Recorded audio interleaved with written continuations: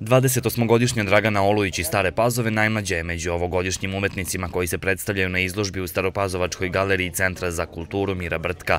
Dragana je diplomirala na Fakultetu primenjenih umetnosti u Beogradu. Večera sam se predstavila serijom slika Podvodni svet, iluzija ili stvarnost. Ovo su iza moje slike i one su sve u istoj tehnici, a to je kombinovana tehnika, akril na medijapanu, čak i ove ribe, one su takođe na medijapanu i u kombinaciji sa drvorezom. Prva izložba ovog tipa organizovana je 2017. a cilj organizatora je da se održava na svake dve godine. Uglavnom to su kombinovane tehnike, ima akrila, ima ulja, e, ima e, u stvari, kad ovako pogledate više to je e, abstraktna umetnost zastupljena, nekoliko imamo e, varijanti gde, gde, gde možemo da, da vidimo neki life motiv, međutim, uglavnom je abstraktna umetnost zastupljena, što je mislim da je interesantno u Staroj Pazovi, pošto smo navikli već da neki life motiv, mrtvu prirodu i pejzaže, da imamo i umetnike koji se bave